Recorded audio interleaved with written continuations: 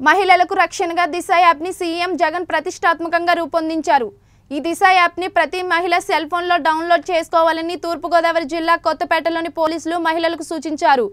ఈ అవగాహన సదస్సులో డీఎస్పీ బాలచంద్రారెడ్డి మరియు మండపేట పట్టణ సిఐ నున్న రాజు ముఖ్య అతిథులుగా పాల్గొన్నారు.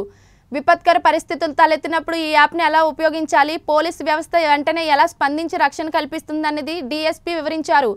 మహిళా భద్రత కోసం రాష్ట్ర ప్రభుత్వం రూపొందించిన దిశ మొబైల్ యాప్ను విద్యార్థినులు యువతులు మహిళలు డౌన్లోడ్ చేసుకోవాల్సిన అవసరాన్ని ఆయన స్వయంగా వివరించారు.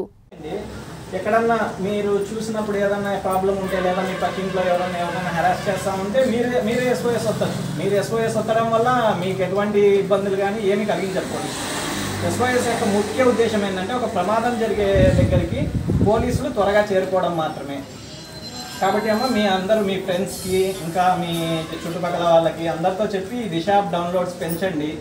దిశ యాప్ డౌన్లోడ్ చేసుకుంటే ఇంకా స్త్రీకి చాలా రక్షణ అనమాట ఇది. ఇప్పుడు ఇక్కడికి మీ పనులన్నీ మానుకొని వచ్చినందుకు అందరికీ థ్యాంక్ యూ అమ్మా. మీకు ఎప్పుడైనా ఏ అవసరం ఉన్నా కూడా మీరు ఎటువంటి ఏమీ ఆలోచించాల్సిన అవసరం లేదు. టైం ఉంటే పోలీస్ స్టేషన్కి రండి. ఆ టైం కూడా లేదంటే హ్యాపీగా ఎస్ఓఎస్గా చెప్పండి అందరికీ థ్యాంక్ యూ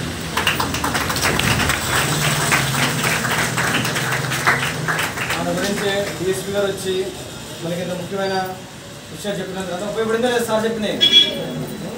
పోలీసు అందరూ కూడా మీకు ప్రదర్శన అంటారు ఓకేనా? సారీ మరొకసారి అందరూ కూడా ధన్యవాదాలు చెప్పు. థ్యాంక్ యూ సార్ అది ఇంకోటి ఏంటంటే అంటే అది మన బ్యాడ్ లక్ లేకపోతే మన ఏంటంటే ఎక్కువ మటుకు మన మీద దాడి చేసే వాళ్ళు మన రిలేటివ్స్ లేకపోతే ఈ ఏజ్లో bye friends normal normal friends వీళ్ళే ఉంటారన్నమాట.